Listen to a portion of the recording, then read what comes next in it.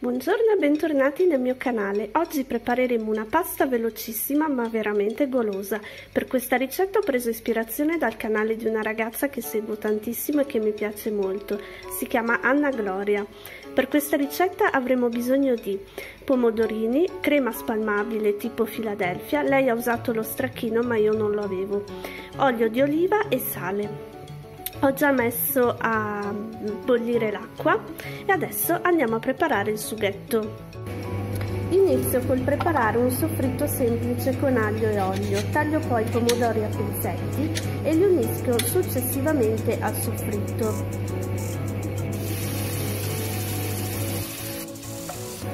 Proseguo poi col mettere i pomodorini, senza l'aglio che ho precedentemente tolto, due cucchiai di olio e la simil Philadelphia in un recipiente e frullo poi per bene.